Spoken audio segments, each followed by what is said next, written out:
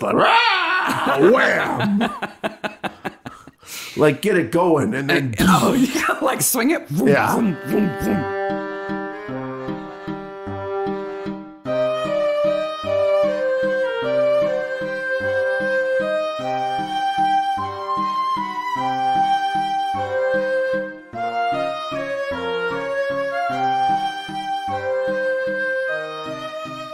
Hey, maniacs. hey, maniacs. Hey, guess what? It's Midsomer Maniacs. It's Midsomer Maniacs, the recap podcast dedicated to the ITV series Midsomer Murders. Each week we dig into the episodes of the show, including the murders, the mayhem, the loonies. Oh boy, there are crazy loonies in this episode, and everything else we love. I'm Mark Bell. I'm Sarah Smith Robbins. And- And, hey, guess what? We're a spoiler podcast too. Yes. We're going to talk about who the killer is. So if you haven't watched season 18, episode 4, A Dying Art, pause, go watch it, come back, or it will be ruined for you. and if your kids can handle giant skull sculptures, they can handle this podcast. If they can handle really bad art, oh, they can handle this episode yep.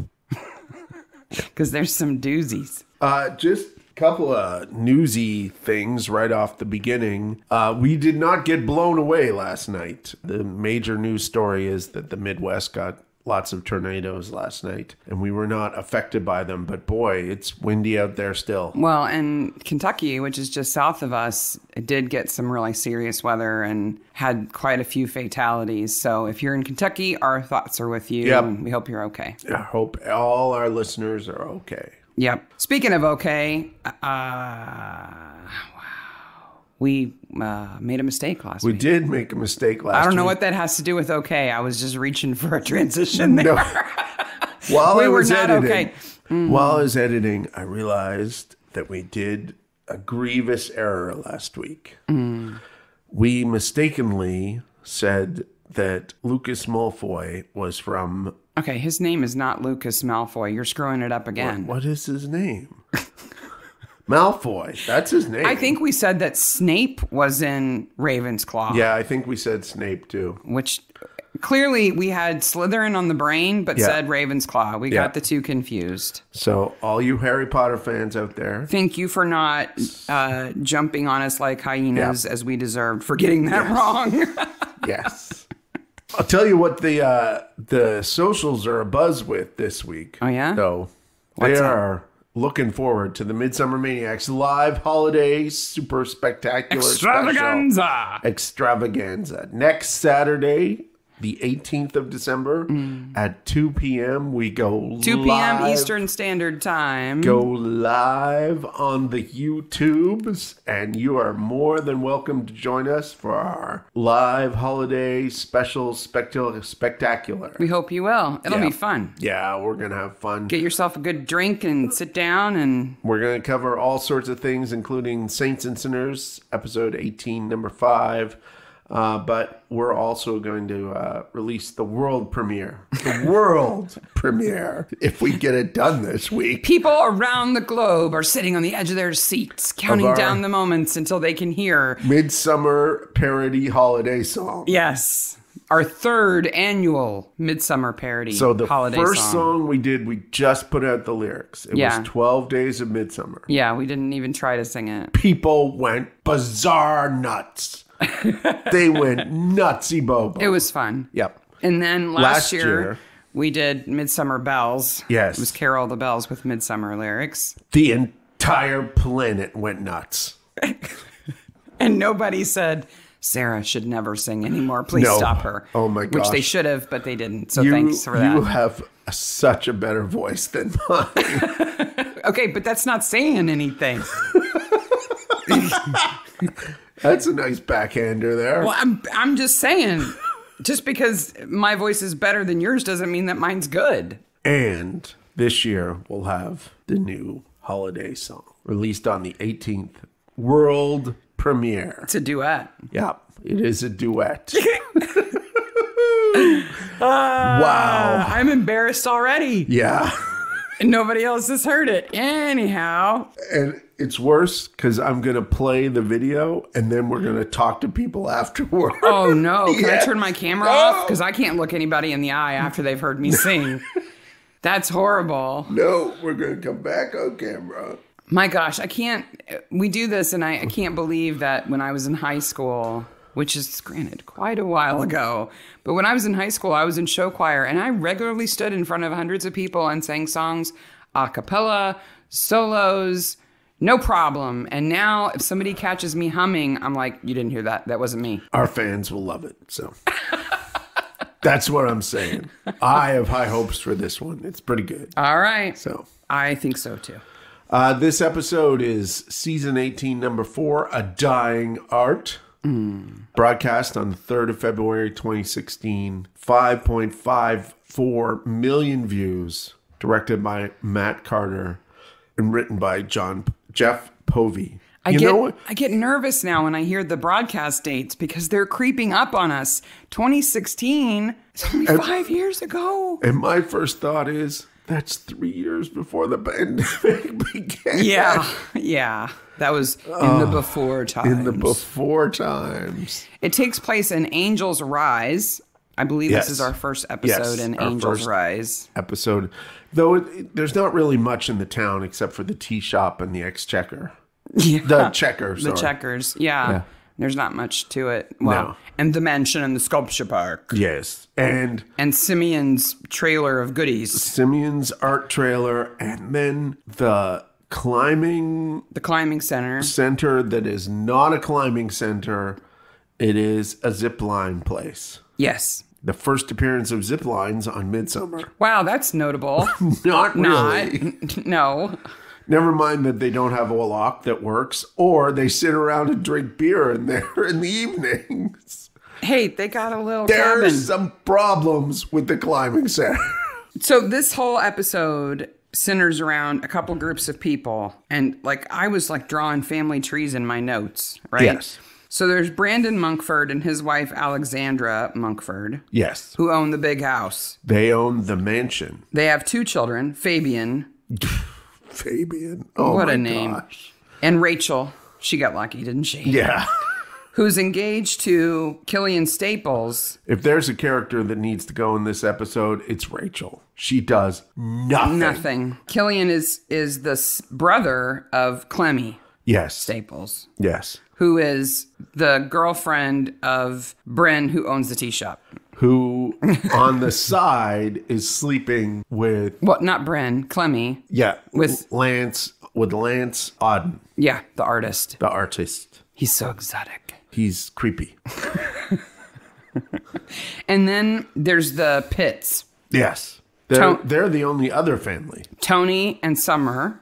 He's the groundskeeper at the house. She's the housekeeper, and their daughter Helena. I'm gonna say she may be the worst human being ever. Who? Summer or Uh, Helena? Summer. Oh, well, she's the killer. She's the killer, Yeah, but the reasons why she kills, and we'll get to them, are pretty wackadoodle. not the best. Yeah. She's a little wackadoodle. And then out on the the periphery of all of this is Daniel Fargo. Now we're we're losing the lead here because there are two familiar faces here, here in this. There's a ton of familiar that's faces true, in this that's true. episode. but mostly is Daniel Fargo, played by David Bamber. who is one of our favorites. He was in The Black Book. He was in Dead Letters. He's been in a million things, and we love him in everything. And we often refer to him as Big Ears Strangely Strong. Yes, because he has large ears and he is now strangely Buff. Crazy buff. Dude, he's a middle aged man who suddenly decided to get fit and he did it. If you watch his Twitter now, it's like bodybuilding stuff. Look at my muscles. Yeah. Good for him. Oh, I yeah. think it's awesome. And we talked about that last time. And there, we- and I think that you see a little of it here. His his coats and waistcoats and uh, shirts are a little tight Yep. at top. The other folks who should be familiar from other episodes are Cherie Lunghi, who plays Alexandra Monkford. Yes. She was in The Green Man. Yep. And then Saskia Reeves, who plays Summer Pitt. She was in the sort of ga- Gil Glame. Yes. And then, of course, Adrian Scarborough, who plays Tony Pitt, who was in Picture of Innocence and Ring Out Your Dead. Yeah, uh, the bell ringer gambler. Isn't he betting on the horses at the, on the side, too? Ring a ding ding. Yeah, that's right.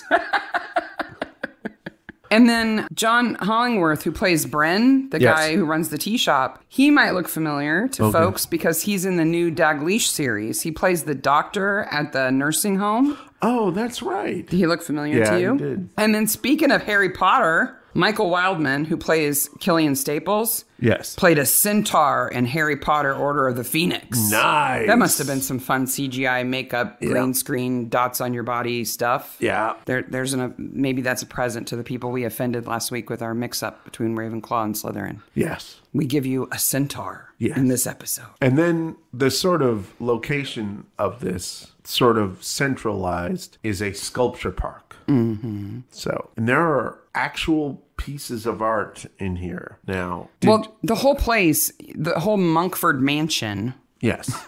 which is a mouthful, is full of art. We're supposed to get the impression that he's a very successful businessman and that he collects art of all kinds. There's classical art in the house, there's modern art in the house. There's a lot of art that strangely features his face. Yeah. Did you notice that? And he's a little cross between like Riff Raff from Rocky Horror and um, the Dungeon Keeper. yeah.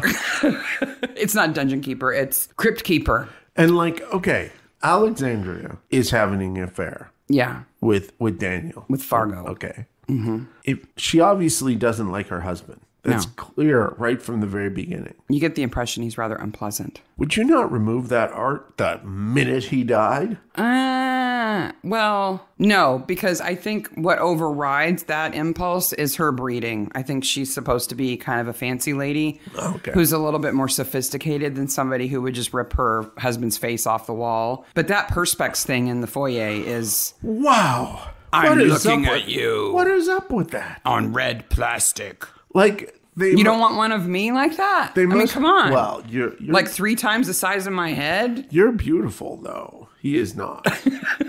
That's awfully sweet of you. I just I still don't think I want my what- face on sliced Perspex. I just want to know the brief for the production people for this episode. yeah. because they they must have been like, okay, we need an art thing that's sort of like that because it starts with the drawings. Yes. So it starts with the drawings, and then the sculptures are sort of like the drawings, but not like the drawings, Mm-hmm. right? So they had to build those things. Yeah. Then they had to build the things in the house. Yeah. And those are all kind of weird and involved as well. Yeah.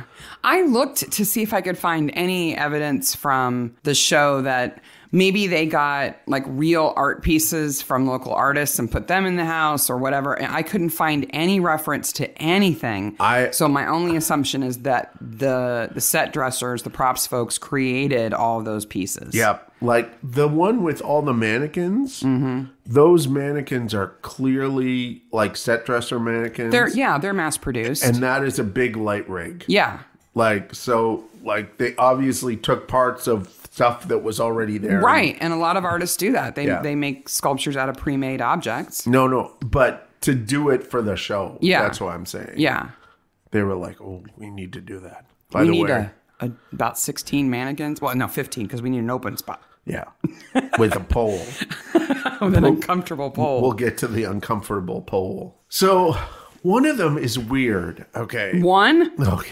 one of them is weird. Okay, the- one of the sculptures is weird. The merman is weird. I like The s- modern art a The lot. skull is weird. There's some weird stuff going on here. But that the sculpture where Brown Brandon is found dead Yes. is. Do, do you think that liquid is CGI?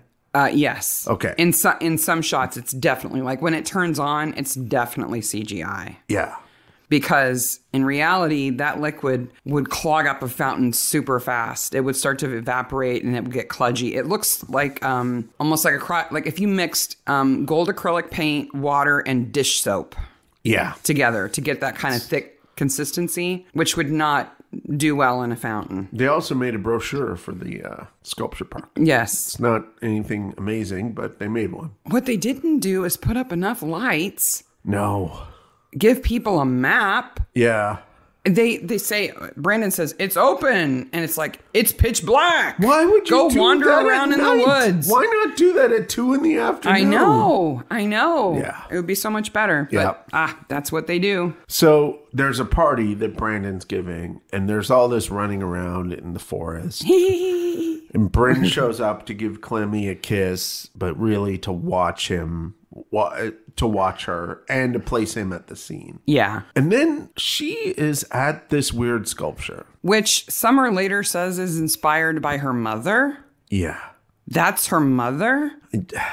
That represents her mom. Loony. Okay. Okay. Apparently, her mom was a un, undetailed, kind of amorphous woman who poured gold out of a slit. Because that's what it is. It's so weird. it comes out of a little slit, not like a, a, a vase pouring out or a flower or No. something. It's just a slit. It's a slit. So Clemmy is sitting there in front of that statue Mm-hmm. on like a little bench thing. yeah. And then Brandon kind of lurches around it and falls. In I think he's like leaning dead against the other side and slumps. But how does it like? How does the killer do that so that he slumps in just the right way? Like the how he is how he is presented is problematic to me. Oh, it doesn't bother me at all. I figure he's just he's just leaned up against the other side of the statue, kind of like uh in her arms maybe. And then as his body gets more and more slack, he slumps over. I think it's dramatic. And he's got the gold paint dripping over his head and onto his white ugly suit and he's looking all creepy. I definitely scream. So there's a thing that bothers me about this episode, and it's totally Mark. Okay, Mark, what bothers you? Barnaby gets a call at night. It's dark out. Yeah. And he says he has to hurry. And yet it's morning by the time he leaves. And he's slow. We could plod through this. Yeah. But you got to figure the party is in the evening. They want to have a little bit of the party before they open to build up the anticipation. So let's say the sculpture park opens at 10. Everybody's wandering around. Maybe it's an hour before they find she finds the body, right? Yeah. So now it's 11 and then they have to call the police and all the the uniforms have to get out there and then it's not that- Nelson has to get out there and verify that it's a murder. So maybe it's one o'clock by the time they call him. And if he fiddle farts around until the sun comes up, he takes maybe four hours to get ready. I don't know. The problem I have is the fiddle farting around. I know, I know. I'm like, dude, work called. I It's know. time to go in. I thought about it. Not and I- time to do a mirror dissolve. And I thought, well, maybe it's very early in the morning, like three o'clock when they call him, and he's leaving at like five, Maybe. maybe. Still. but that would that would be pretty late. I'm I'm just saying, if I were a cop, I got that call, I'd be out the door in 15 minutes. Would you stop to shave? No! Have a bowl of cereal? No! Oh, God, he's eating cereal. So I looked into sculpture parks, and they're all over the place. Obviously, Yes. of course, uh, absolutely. I There's mean, one rather near here. uh, outdoor sculpture's nothing new. Yeah. but I know that that you found some interesting stuff. I have a quiz for you. Oh, uh oh. Wait a minute. I quiz you. You don't quiz me. No, no. I have turned the, the tables have turned. pictures from five sculpture parks. Okay. Now, I'm gonna uh, I'm gonna ask you to give me a, a random one of these. I want you to look at the pictures and describe what you see. Okay, because this is an audio medium. Yep, and try to figure out what is the common theme of this sculpture park. Oh, okay. Now, this list, I'm going to warn you up the, off the top, comes from uh, uh, one of our favorite websites, Atlas Obscura. Yep, they have a great podcast too. Yep. And is their favorite weird wild sculpture gardens. Okay. Okay. I wouldn't expect you to give me tame, boring ones. No, so- no, no. All right, I'm ready. Okay. So I have five sculpture gardens. Which would you like first? A, B, C, or D? I don't care. Just give me one. Okay. Let's start. Let's start with C. I've been handed a sheet of paper here. Okay. Uh, wow. Okay. So all three sculptures here are And I'll post the link to this whole thing in the bottom so you can look at all these pictures. Yeah. In the show notes. So all three pictures are of human body sculptures, nude human bodies. Yes. They're made out of either metal or stone. Uh, the top one looks like one man with another man on his back, like he's wrestling him, like he's about to fling him over his shoulder. Yep. The second one has huddled groups of naked people sculptures, including two women who are uh, head and shoulders down on the ground with their legs in the air, like with their knees together, like they're forming a, a square with their bodies. Yep. And then the third one is clearly a very muscular man being attacked by babies. Yes. That's a well known sculpture. Yes. Do you know where this sculpture park is? Or what is the theme? I would have to say the theme is naked people.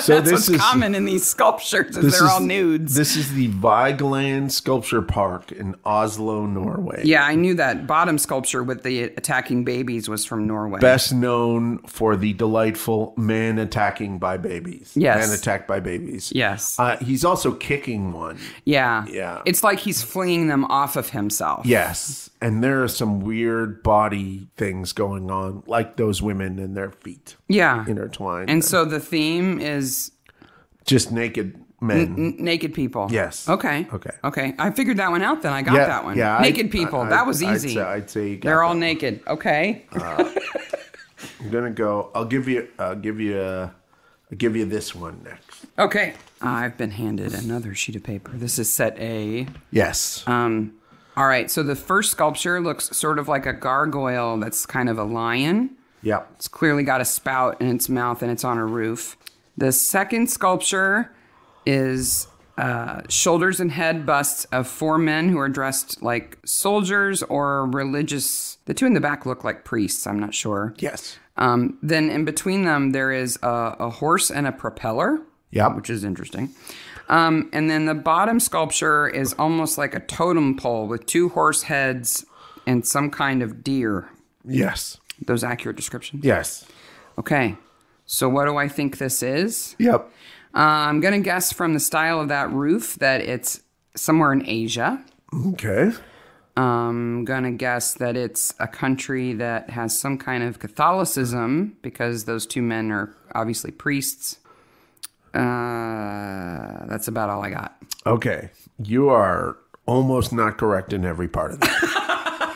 I'm almost completely wrong. Yes. This is the Franz Sadavikius Sculpture Ensemble in Lithuania. Okay. Okay. They are impressive sculptures that survived the Soviet regime. Oh. So this oh. guy went around after the Soviet Union fell and collected sculptures. Oh, okay. Okay. There's got to be some weird stuff there. Wow. Well, the the horse propeller combo is Yeah, kind of strange. Yeah, it's that's weird. Yeah. Yep. Okay. What else you got? Okay, this one. Our our viewers may know this one. Oh, yeah, this is familiar to me. So this is set D. These are all water nymphs, Okay. like near waterfalls and little bridges, and they're like uh, nude ladies diving into the water around this really beautiful pond that has like um, lily pads and stuff in it. Okay. This is an easy one, but do you know the secret about this one? There's a grotto, isn't there? No. No? No. No, I don't know the secret. These are the Naked Ladies. Yeah. Okay. This is York House Gardens in Twickenham, England. So some of our listeners may have. Twickenham? Mm-hmm. Twickenham. Some of our you uh, listeners may have seen these. Okay. They're beautiful. No one knows if they're set up properly. No one knows who made them. Let uh, and no one knows that, what the artist's name is. Wow. They have no idea where these came from. It's Wow. all lost to time. They don't know if they're set up properly. They don't know anything about them.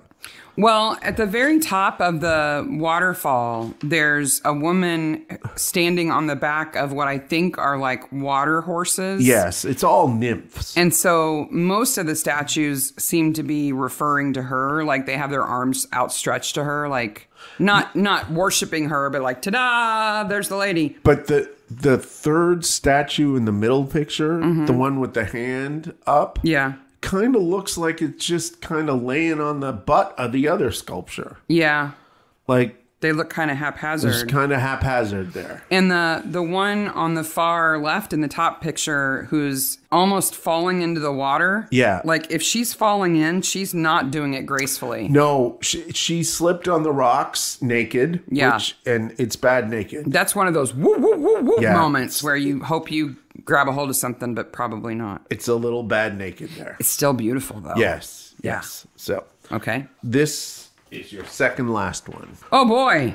Yes. I know what this is. Okay. Okay, so these are all penises. Yes. So the top picture is two very big penises carved into like little huts with little dudes standing in them. yes.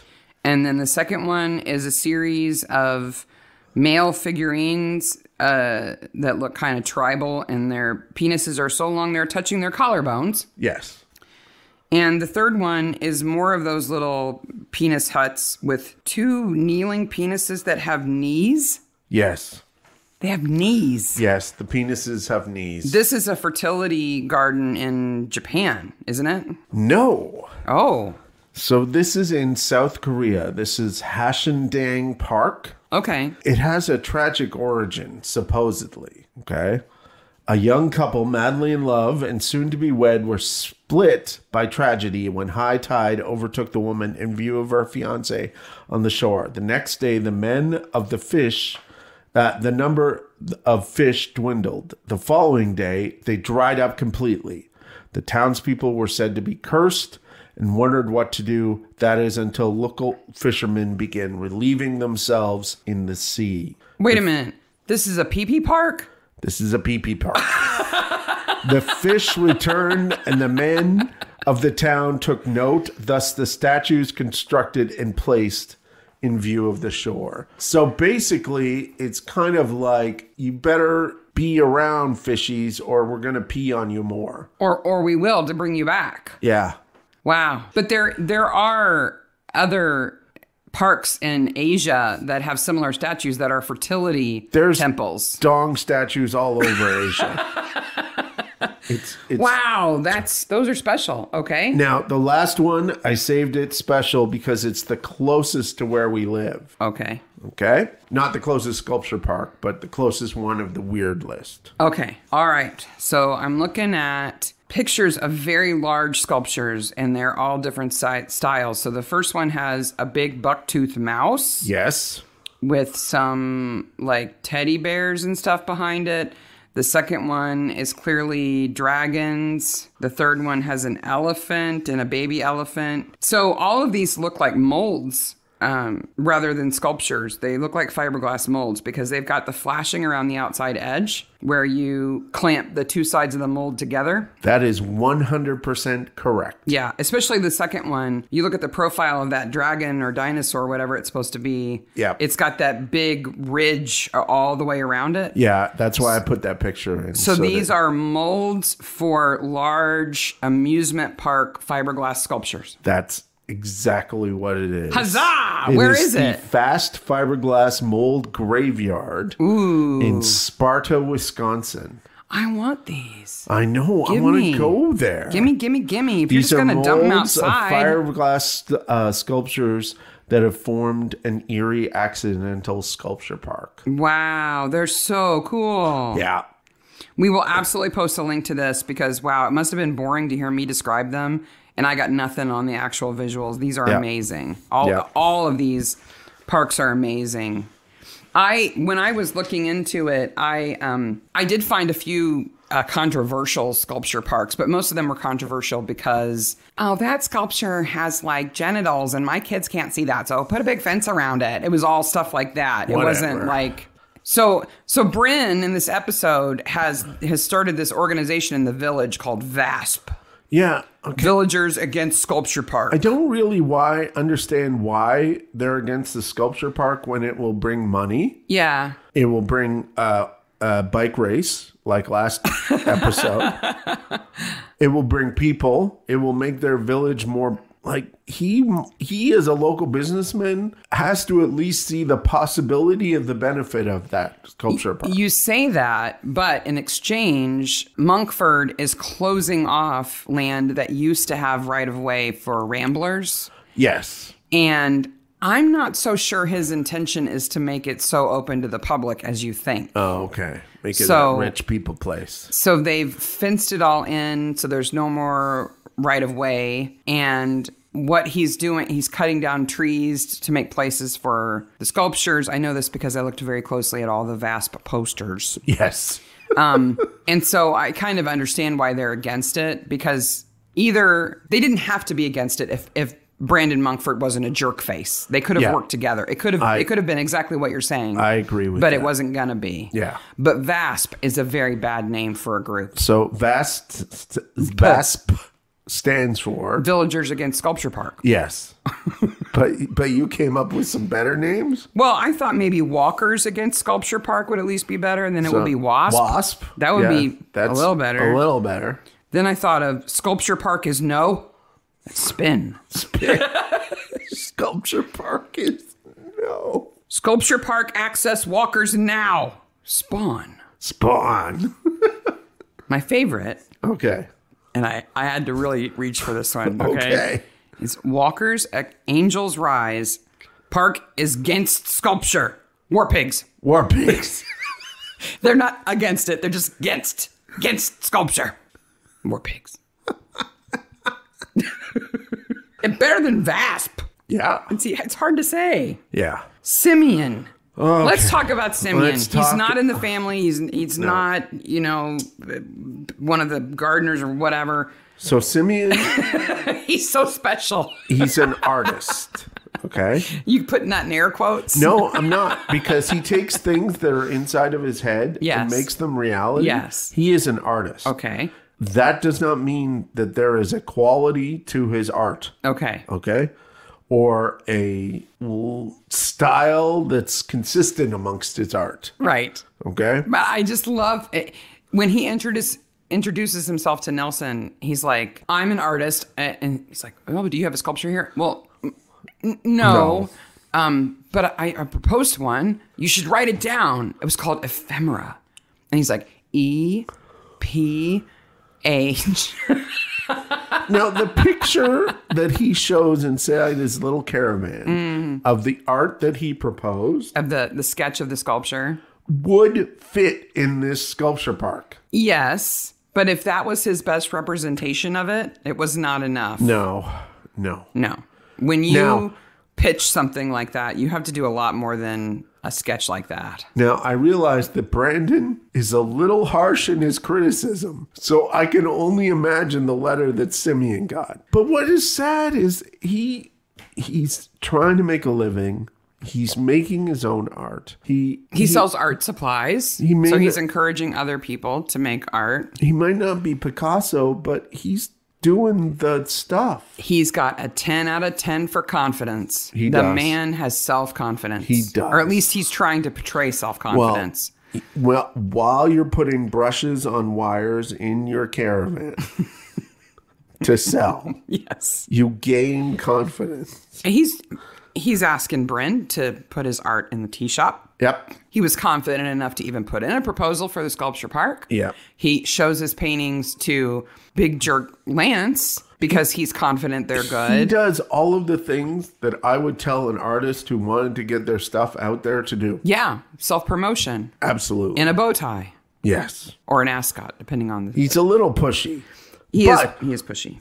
Okay, he's a little pushy and his art is not bad. He is by far the golden person standard in this episode. Oh my gosh! he yeah, is the best. I would say he's even better than Barnaby in terms of human being. what because he doesn't waste time getting ready in the morning. He doesn't kill people.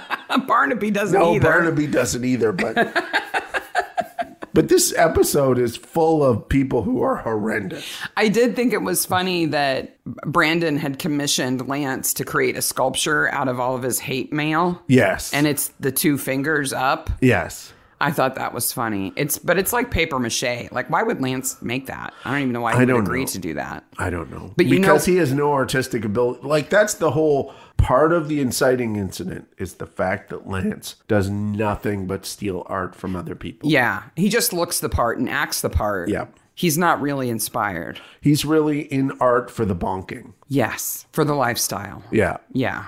Okay. But you know what the two fingers up means, So that's like F you, right? right? It's like if you make the peace sign, but you turn your hand with the palm facing you, And you you and usually there's an up. there's an upward motion. yes. it's kind of up your rear too. And do you, but do you know where it comes from? No. No, nobody does. No. Oh. You'll hear this.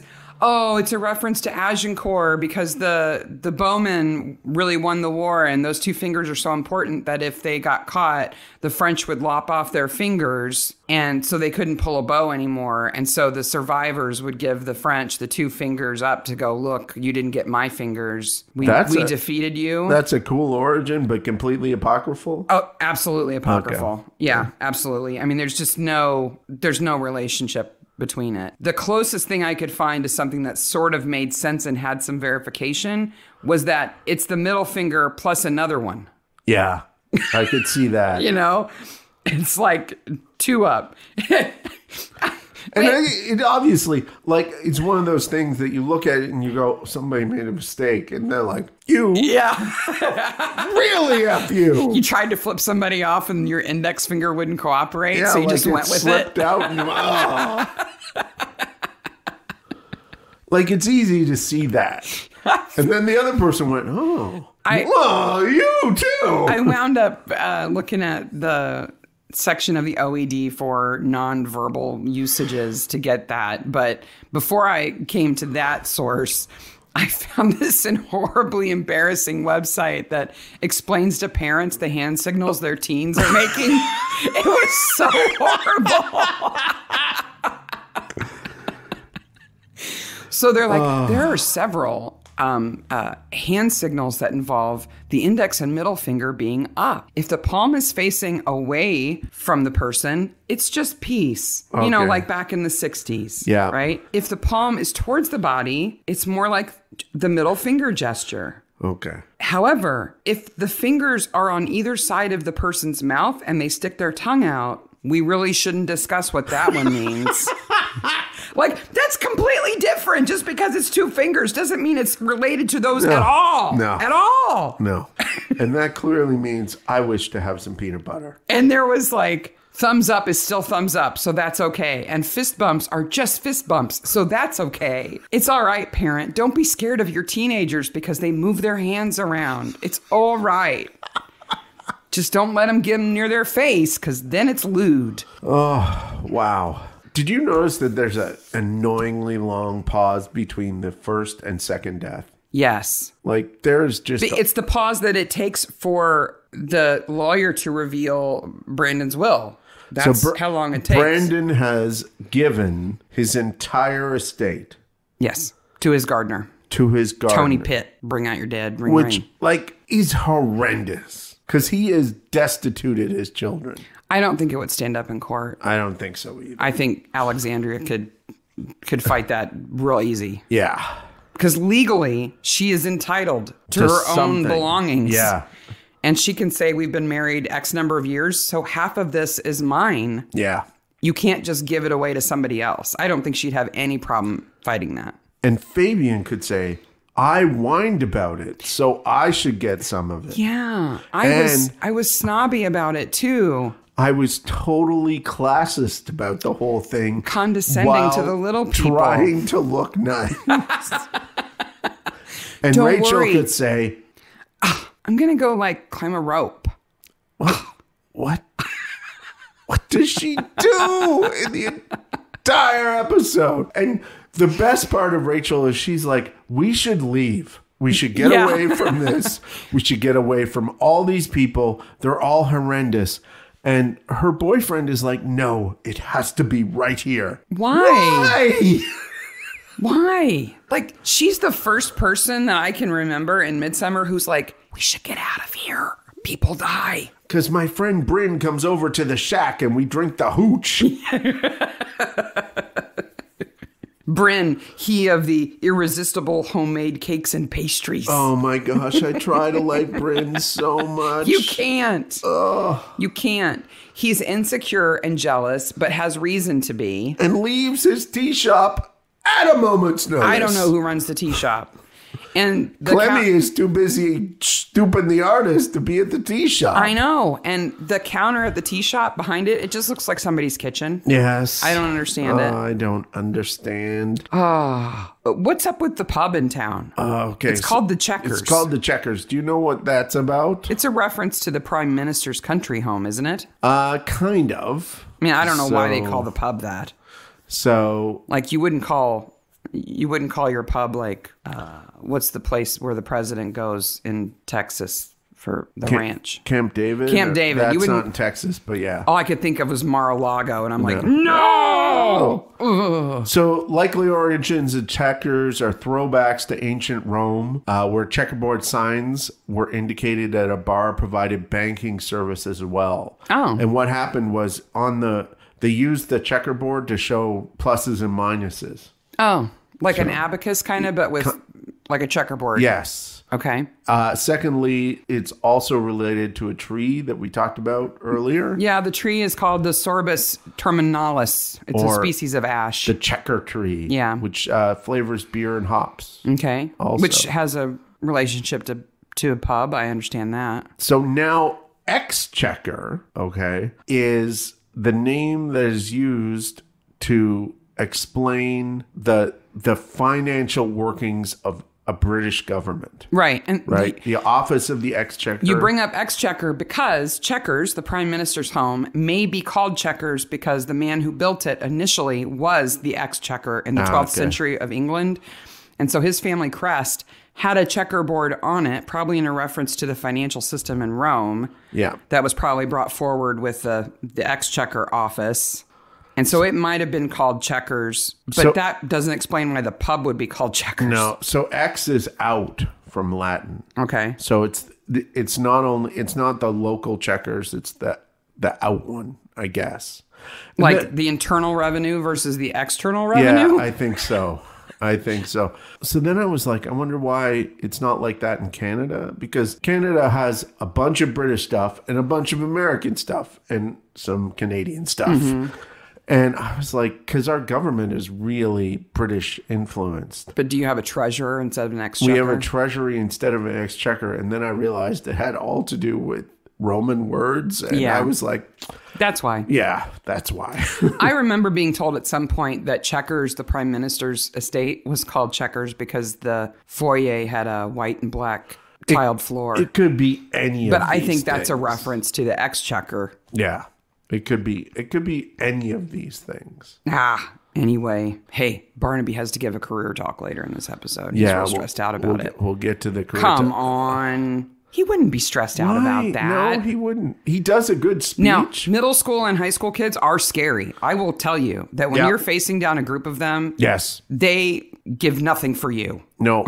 But I They have no F's to give. it's like It's a tough audience. we have to have a B plot here. Yeah. So what is the B plot going to be? Brandon is an awesome corpse. Yes. And I gotta say that, um, oh, the coroner whose name I just lost. Kam. And I've gotta say, Kam is awesome at handling somebody else's body. Yes. She grabs his head and she's just like, flip, turn it around, flip, turn it around. And that poor actor, Yep. his name's David Gant. He must have been laying there like, lady, easy. I'm not really dead. I'm not dead yet. She just manhandles his head. Yeah. It's like good, good corpse acting. Way to go, dude. That was not probably very pleasant.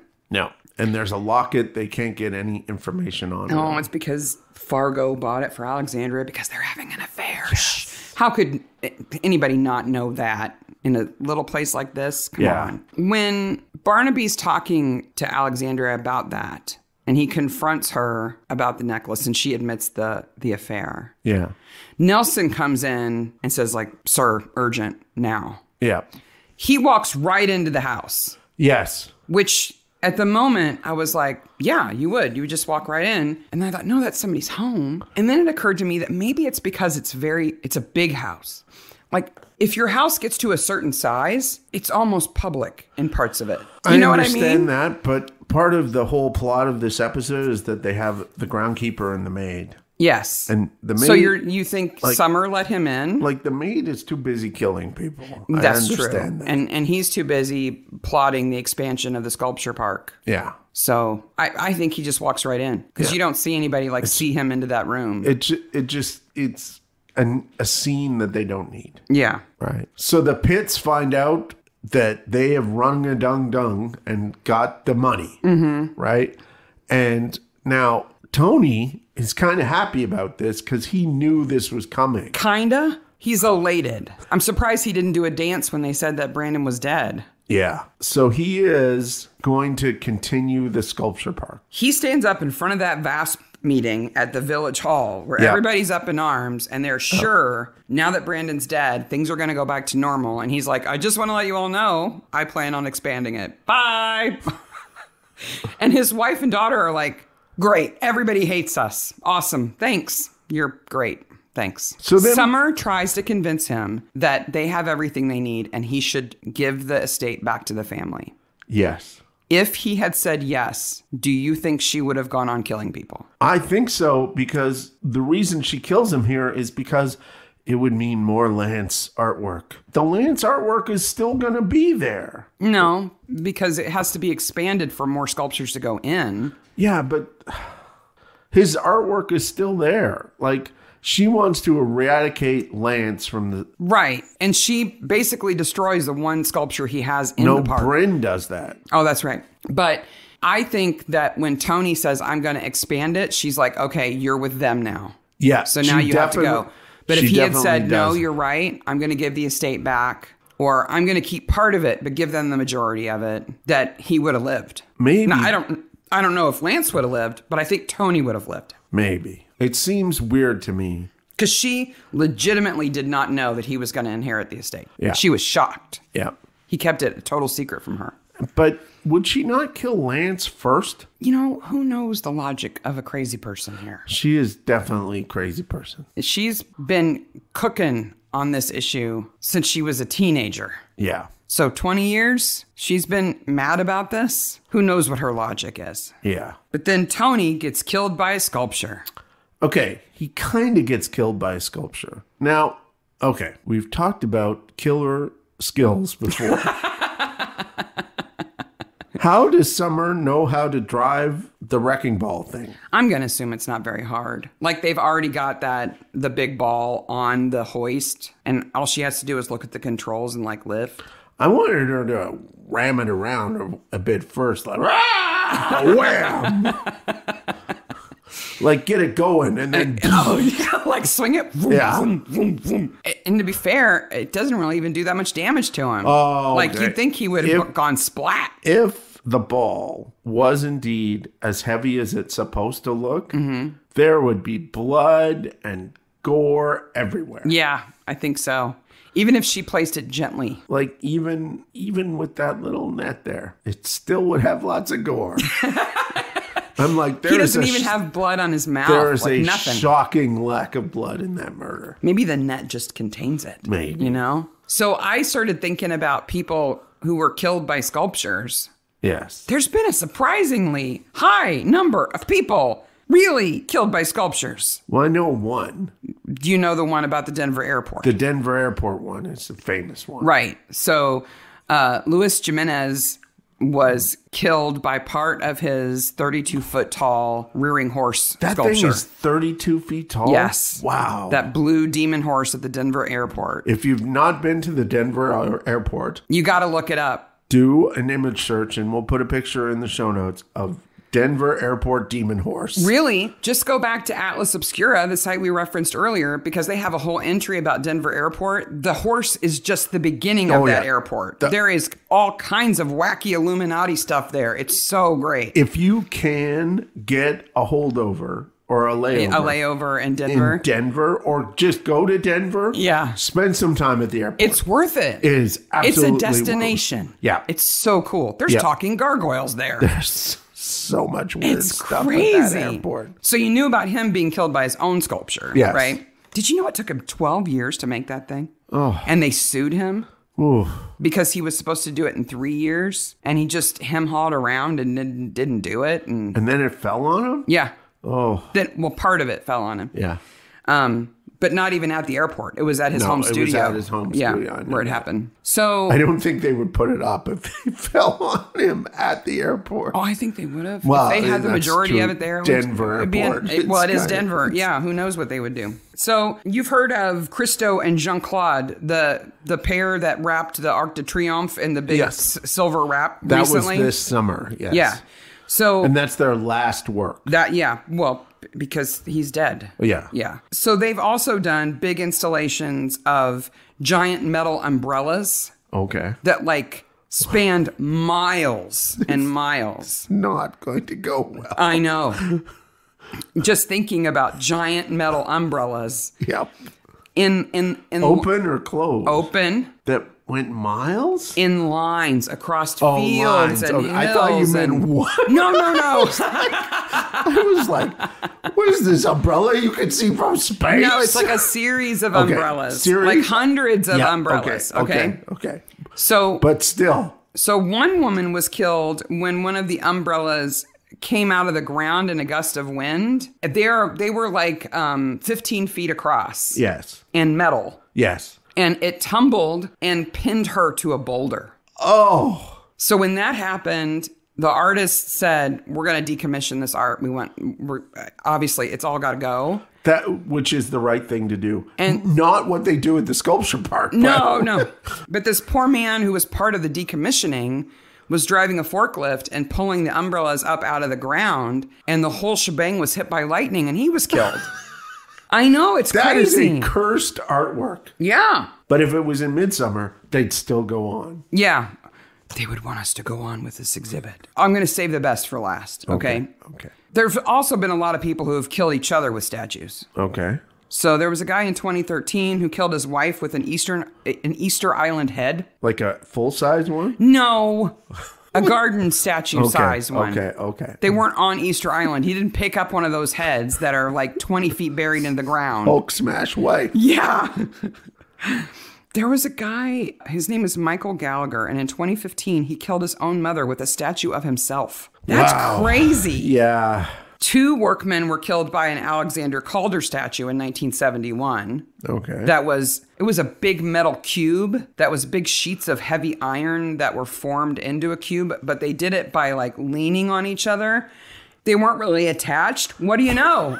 it fell over and smashed two men. and a metal umbrella just rolls by and smashes into a car. But my favorite, Okay. and it is tragic, okay? It's Okay. tragic. we won't make fun. But we're dark. Okay. So we we laugh at Okay, stuff. this is dark. In 2006, in County Durham, in England, Yeah. there was a temporary sculpture that was a series. It was like a grid of these big inflatable shapes that were attached to each other that you could get in and walk around like a giant bouncy castle, but it was enclosed. Okay. Okay. It wasn't tethered down well enough Okay. and the wind lifted it up off the ground and into the air. Okay. And two women who were in it fell out and died. oh my gosh. This is bouncy castle death. They were not the only people in it when it happened. Oh my they were God. just the oh. only two who fell out and died. So other people had a hell of an adventure flying in the air in a Around giant inflatable thing. Yeah. There's got to be footage of that. Oh my gosh. It sounds incredibly scary. Imagine if you were outside of it and saw it lift up Oh my gosh. and heard the screaming. I would film it. That's some scary stuff. That is. Obviously, families sued. It was the company that did the installation that was supposed to tether it down that ended Yeah. up paying for it because they didn't tether it down well enough. Yeah. Makes me kind of scared of bouncy castles just a little bit. Does. Especially in a windy day like this. Full of a bunch of kids. I'm a little worried about Olive getting blown. and- yeah, I know. She's low to the ground. That helps. We last saw our child at the fifth birthday party of David in the bouncy castle. He and his classmates flew off into the sky, and we haven't seen them since. They're on a big adventure. then Lance, when Yes. you when you think that he is the worst he can get, he just dumps Clemmy. Just like I don't think I should. Uh, no, I'm just gonna say nah. Like he's totally into her, and then there's a child that he wants to touch. She's not a child. She's, 19. 19. She's 19. But But he's they have skeezy. to they have to make a point of saying that she's 19. Yes. And I also think he may be her father. He would not be the first artist to be a little lecherous. Understood. There's leches in all professions, Yes. but artists are sort of known for He's it. he and Clemmy is like a thrall to him, and then he's just like, "Oh, go away." Clemmy's played by Kat Simmons, Yeah, and I envy her hair so she has much. beautiful hair, Gorgeous hair. I want her hair. fantastic hair. Do you think Helena's art is any good? I don't think any of the art is very good in this episode. Her sketches look like she's scribbled most of them out again. I don't even know what we're supposed to be seeing on those pages. and I'm gonna go art teacher here and say she presses too damn hard with the pencil. That's one of your peeves. Light touch, light touch. Lightest possible touch. So when Lance is killed, he's also positioned in a piece of art. Yes. And it is one of the wackiest body posing things that has ever been in Midsomer. It it is indeed. First of all, mannequins are creepy. Yes. Period. Whether they have faces or not, they're creepy. Yeah. Second of all, big groups of mannequins are that much creepier Yep. because you know they're just going to start moving and, and sink and attack you. But when they're brightly colored and all looking one direction, they're even creepier. Oh. But he's standing there among them. Why is his jacket backwards? I don't know why his jacket is backwards. I also don't know why or how he's standing up. So at first, I thought, oh my gosh, his jacket isn't backwards, his head is. Yeah, I thought that too. Then you see his feet and his hands. It's like, no, no, his jacket's just on backwards. Yep. And I thought, okay, so the jacket's on backwards to hold him up somehow. It's important that it's backwards to give him stability. Like she stood him up and then she wrapped his jacket around the pole and buttoned it Yeah. to keep him up. Maybe. He's got very nice shoes. But I would have thought you would have just slid the pole up the back of his jacket. I would think that. Like that's just as easy. he's not. Eh. And that wouldn't hold him up. he would slide down it. His legs would give out and all that stuff. But he sure does look with his tongue out there. Yes. Maybe he needs the IVs. Did you see the IVs? They're weird. Yeah. They're like trash bags of red liquid hanging from a clothesline or something. That's one of the pieces of art. but they're art. So the mannequins are all there's like a lot of yellow and green ones too. Mm-hmm. They're shiny. And I think the pole is there because of that picture that is supposedly drawn by him, but it is actually not drawn by him. The pole's there because that's the kind of pole you would use to stand up a mannequin. The mannequin They have a little Yeah. bracket in their center back So where- that screws into that. And Where that- is the mannequin that she moved? I don't know. Maybe she's wearing it, running around. I wouldn't put it past her. Lance sure has a nice car. It's like a hot pink mannequin posed somewhere. Yep. No, it's uh, Fargo who has the nice car. Oh, Fargo. Fargo has the little green no, convertible. but Lance's car is nice too. What's Lance got? He's got a little car like that too. Oh, a little okay. sports car. Well, Fargo uses his car to take the most hideous vase from his living room to a completely insecure barn where he apparently keeps valuable art. Okay, so the the fatal flaw, not even the hat that he's wearing of Fargo, is His straw boater yes, that sits on his ears. yes, Yeah. is that supposedly he's been collecting Lance art so that he can make a killing when Lance dies. Was that a pun? I guess Unintentional. It's Midsomer. You can't really make that this fun. is when she wants to kill him because he's going to make a bunch of money from Lance's death. Uh, I think that's a good motive, considering she hates Lance and everything he stands for. Okay. And she's not about to like be okay with somebody who's about to make a ton more money off of the ideas that were stolen from her. I am not going to go good motive. I'm going to say possible motive for her Looney Tunes. Okay. Good in the mind frame of summer. Okay. Okay. In her world, Yes. he is extremely egregious. Yes. He's worse than Lance because he's now going to make money off of Lance's death. Well, he can sell the meat lance. The meat, not meat lance. That was the park that we were talking about. the meat vase, The penis park is the meat park. meat lance park. we see this sculpture piece of art vase. It's it's, hollow, so it looks va- va- It's pink? cylindrical. We see it first in Fargo's living room. It's over on a table in front of a window, and I looked at it and I was like, "Ew." It's like David Cronenberg did the art for that. I was like, "That's that's ugly," and but I couldn't get a good look at it, right? Yeah. But then when he unwraps it in the barn, I'm like, "Oh, it's just as hideous as I thought. What is that?" So I came up with um, viscera vase, Viscera vase. Yeah, that's good. uh, gut goblet. Gut goblet. I'm just naming it. Okay. You know, by Lance. yeah. Meat mug. Meat mug. It's that a might big. be the name of the episode. It's a big mug. Yeah, it is a It doesn't have a handle or anything. No. I think my favorite though is bowel basin bowel. because it looks like it's made out of bowels. I'm sorry, it's guts. it's bad. It's like an intestinal vessel. I don't know. It's really yucky. And then he gets put on the worst swing set ever.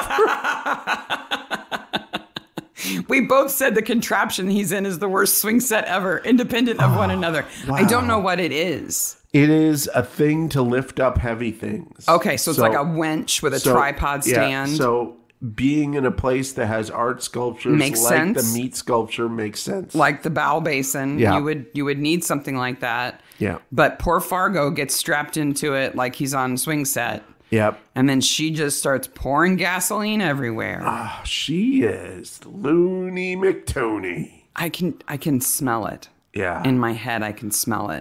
The straw, the cardboard, and- the wood, okay. the gas. So now let's take Lance's pers- not Lance. Let's take Fargo. Fargo's perspective on this. Uh-huh.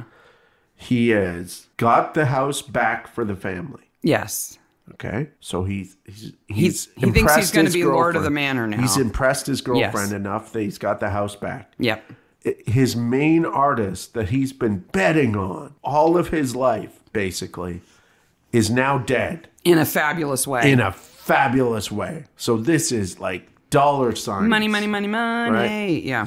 And he wakes up and he's on the swing, and all he can smell is gas, and the maid is there. Yeah. He must be like, what the hell is going, on? Yeah.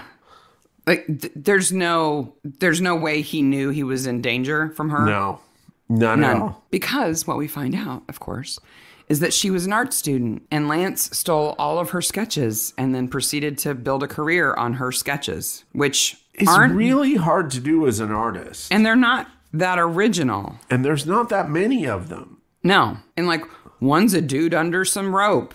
Yeah, That's not even what that sculpture is. no, It's a ball on a plinth. yeah. The ropes are only there to place the ball. I don't Yeah. think they're part of the sculpture. It's sculpture. weird and wrong. There's so many weird and wrong parts to that. I, I can only think that what broke her was tragedy in her life. I And so Yeah. that exacerbated it. But Yeah. then why did she wait so long? I don't. What is the inciting incident other than Lance has come back to get put stuff in the park? But he didn't just drive up to the sculpture park that afternoon and drop that baby. Right. He's been there for a while. He's Yeah. been commissioned to do several pieces. And yeah, I just don't, I don't know what made her snap. So, do you think Helena is his daughter? Is No. Lance's daughter? No. I totally do. She's way too blonde, honey. I'm sorry. she looks like her parents. Okay. She's got Ding Dong Dad. He's blonde. She's got Crazy Maid Mom. She's blonde. She's got a natural inclin- inclination to ring bells. Yeah, she just can't help it. Yeah. She just wants to wear flares so bad she doesn't know why. Yeah. No, she looks too much like her parents. And I think they did that on purpose yeah. because the whole situation would have been different if her daughter was his daughter. Yeah. I, I think that would make a lot more conflict about killing him. Yeah. But no. Mom, are you a killer? yes. Sorry, honey. Bye. Well, I'm going to go to London. Well, you have a solid case that you own the big house. now. Yeah. Unless Summer signs some paperwork in the meanwhile, she comes back and she says, Well, I've just given it all back. But Yep. that doesn't mean that she's done it legally She yet. says, get the lawyers to g- get it set up. yeah. So it's not official. Helena could easily say, no. This is all mine. This is all mine. Yeah. So Oh. before we go on to after the credits, we have to do best corpse. Well, and then there's a careers talk. Do we even need to talk about it? No. There's nothing to say. All it's like the moral of the story is to speak from your heart, not cue cards. Yeah. end. The end. He should have been like, I get to drive fast. And so I was just on this case, and there were these bodies, and this one guy was posed like he was a mannequin, and, like it was crazy. The middle schooler should have asked, "Have you seen a dead body?" Yeah. and he like that's the entry into talking about those things. yeah. Like, you won't believe where they put the pole to hold him up. It was, Yep. whoa. Speaking of two fingers. Anyhow, best corpse. nice corpse. Okay, Brandon, Tony, or Lance? I'm gonna go Tony because of the pictures of Tony, But he's not even gory or anything. and he is rock solid. When that like that netting would show if you were breathing in. It, it would telegraph it. Yeah. Yeah. Like I'm going to go with Brandon because when he's on the slab, he's got the the Y incision. he's really good on. It's not slab. moving. He's really good. she turns his head back and forth. I, I just can't give it to him because of the uh, I'm a monster. oh, No. when he slumps Yeah. around this the sculpture. yeah. Nah, I, I'm, I got to give it to him for the for the morgue work alone. No. By the way, speaking of that, on a side note, I don't know why I never did it before. I looked up the rules about being a corpse actor Oh, for the Actors Union. Yeah. Now this is for SAG. I don't know if it applies everywhere. It's definitely true in the U.S. Different union in the UK. In most cases, corpse actors are background actors. They don't Yeah. have speaking parts Yeah. prior to being dead. Absolutely. So the rules are primarily about background actors Yes. Who in the US get paid $139 a day for an eight hour day. Okay. Plus, they get overtime if they work overtime and all the food that they want, right? Okay. That's just that's if, that's just that's if you normal extra. that's just if you stand in the background, Yeah. right? If you are a corpse actor, you make an additional hundred bucks oh. because you have to come in for more wardrobe fittings, and they usually make you come in to get your photograph taken for life photos yeah. To put around like your home or Yeah. whatever to show what you look like before you were dead. Yep. So you make extra money there. If you have extensive makeup or you have to get wet, yeah. you earn an extra $14. So our favorite corpse actor in Electric Vendetta, Mm-hmm. The guy in the crop circle. he's there the whole day. He gets bonus because he's nude. He's nude. He has makeup. He would get an extra $100. Plus, So he probably I would say made he'd ask for the 14 bucks for being in, in the field. I naked. bet he made 300 bucks a day. Yep. That's it. And the the thing is, as we talked about in that episode, he would have had to walk all the way out into that field by himself Oh no, not necessarily. because they take a long shot. I him. know, but there's a path. I'm sure it's just it's just perpendicular to the camera, so you can't no. see it. No, no. But he had to get out there all by Oh, himself, Yeah, get naked, yeah. Hide Di- his clothes, Ditch his robe and lay down. and lay down. Maybe his robe's underneath him, fold Ma- it up. I. Maybe.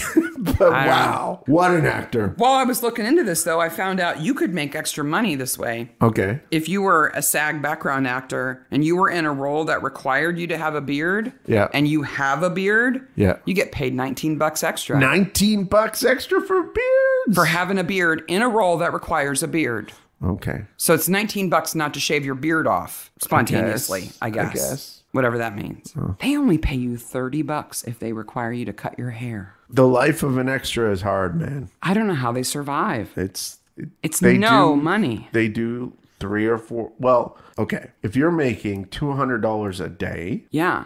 that means you make a thousand dollars a week, Right? which means you make four grand a month Before taxes. before taxes and all that stuff. And you have to subtract travel costs, and they usually have to provide their own wardrobe. but you don't have to pay for breakfast, lunch, or dinner, baby. That's true. all the food. That's- That's, why it is. It's a trope, but that's why extras eat everything that craft services has. Yeah, but you're assuming that they work five days a week. They don't. They're probably hard. they're probably waiting in line in auditions and stuff Yep. two days a week at least. I don't. You can't make a living at. Anyway, those are the rules, and I didn't know. I don't know why it didn't occur to me to look those up earlier, but um, So there's a woman who commented on one of our YouTubes, and I want you to comment again. I don't remember your name off the top of my head, but you said that you were in the episode, the newer episode, where you were in the choir in the episode of Pirates of Penzance. oh yeah, Tell us we want to know what it was like. and what you got paid. Yeah. If you'll tell us. If you'll tell us. yeah. Now we would go on Midsomer for free. Heck, I'd like to talk to her. Yeah. we could do a little interview By with her way- if she'd be willing to. Midsomer people. If you're listening, We can make it there.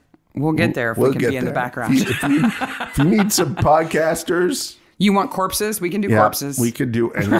oh my gosh, to be on Midsomer. Mark will be a naked guy in a crop circle. Oh, I would.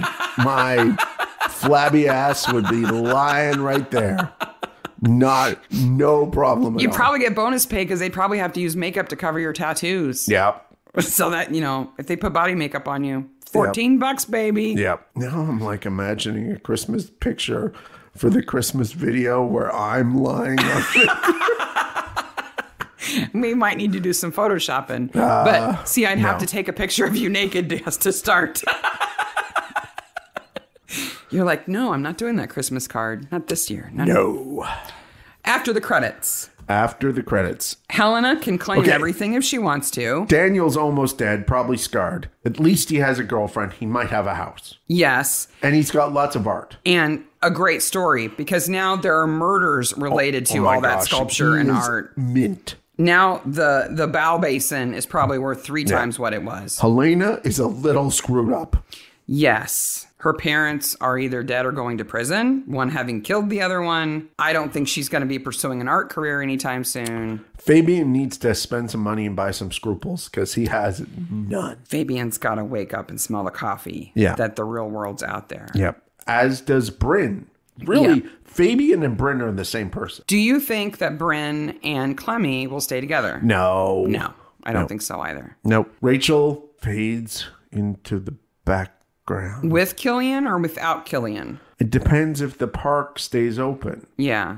They seem like they've got a good thing between them. It's just kind of stressed right now because they've done a lot of. They've, they've started this They business together. really hard It's really hard work. not getting a new lock. and making a zip line climb park. Yep. Um, so I think I think they'll stay together. Simeon's going to sell stuff out of the trailer.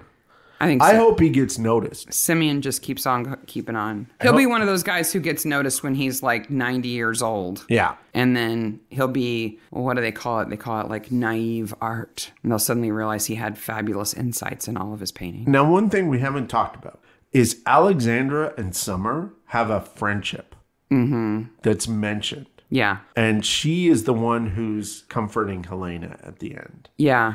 Like, I think that Alexandria has to do that. I think she will take care of Helena. Yeah. Clemmy's just waiting for the next artist to come to town. Maybe Clemmy will realize that she needs us to raise her standards a little bit, that she deserves better than Bryn or Lance, and Yeah. do something with her life that makes her happy. What do you What do you think the best thing in Bren's tea shop is? What do you think his best baked good is? Pastries. Pastries. Some kind of pastry. I don't know. Maybe he makes macarons. Macaroons? Yeah. Macron is the president of France. Yes. Maybe he makes little Boris Johnsons. They're tasty. They'd have to have coconut on top. yes. Really messy coconut. Okay. It's not it's not the most charming episode of Midsomer, but No. you gotta give it credit for the murder Oh, methods. the murder methods are fantastic. Are creative. Yep. Next week, Saints and Sinners, archaeology. We will talk time, team. We will be live. Extravaganza! Season 1805, uh, December 18th at 2 p.m. We are going live. 2 baby. p.m. Eastern. Yeah. Be there, be square. How can they find the link to the YouTube? It'll be all over our socials this week and earl later on this week. I'm going to put up the the thing where you can set a reminder and all that stuff. Great. Yep. We had so much fun last time. If you came last time, please come again. Oh. And if you didn't come last time and you can, be there. It we it really it, it way surpassed how much fun I thought it was going to be. It was a blast. One one of the friends of the podcast, Pi Phi, is changed her work schedule so that she could be on the live stream. Wow, thank Yeah. you. That's so fun. Yeah. We will try to to live up to the trouble that you have gone to to be there. I'm gonna say it. I'm gonna say it right now. Olive will be on screen. Yes, Olive will make an appearance and I have to say both of her ears are pointing up now. Yes, and she looks so super cute. She's the most adorable thing ever. We got new merch. We got a newsletter coming at the end of December. We got uh, a a thing going on on our merch store that if you buy anything in the month of December, December, all the profits are going to Meals on Wheels. all the profits are going to Meals on Wheels for a little Christmas gift to them because they do great work and they help great people. The Kickstarter is funded. It's got three days left, but if you want to keep going, giving me money, that's awesome. I can't believe I did That's another comic. successful That's awesome. Kickstarter. Uh, we're on Instagram, Twitter, email, The Facebook groups, Midsomer for Acorn. If you're on YouTube listening to us, hit like, subscribe, and uh, hit the bell. Uh, we're almost at 700 subscribers. oh, great. We're getting close to that thousand subscribers, which means that we can have our own community on YouTube and all That would sorts be of fun. so absolutely, come next week. I'm going to tell you again on sun- Saturday to like and subscribe that that uh, video so that we can get those numbers up. And we will be covering Saints and Sinners. Then the third of January, we'll release Harvest of Souls after taking a week off Yep. And then uh, into January, where like January is uh, episode one ten is when we start, and that's the push. We got we have a very finite number of episodes to go after that. Wow. and we get. It's so scary. What's weird is we're going to get to the point where we're done mini episodes for those episodes, so we're going to have to like listen to the mini episode and see Mm-hmm. Not what, cover the same stuff not again. cover the same stuff, and I'll post those mini episodes again right Yeah. beforehand. So, It'll be fun. yep. So we hope to see you all on the 18th. Yes. For the extravaganza fun. December 18th, 2 p.m. Eastern Standard Time. And until then, bye, maniacs. Bye, maniacs.